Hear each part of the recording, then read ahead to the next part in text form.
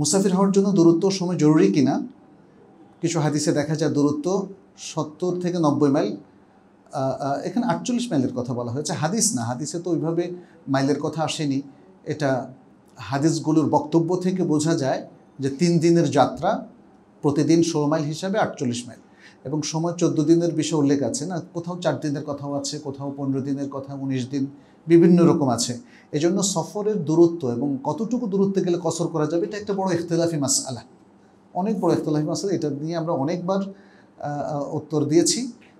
এর মধ্যে জিস্ট হচ্ছে এই, যেটাকে কোনো এলাকাবাসী সফর বলে। যেমন এই শান্তিনগর থেকে কতটুকু দূরত্বে গেলে আপনি মুসাফের হবেন? আপনি যদি কুমিল্লা শহরে যান, তাহলে মুসাফের হবেন। অথবা শহরের কাছাকাছি কোথাও যান, সবাই মুসাফির বলবে। সেখানে আটচল্লিশ মাইল হোক অথবা নাই হোক।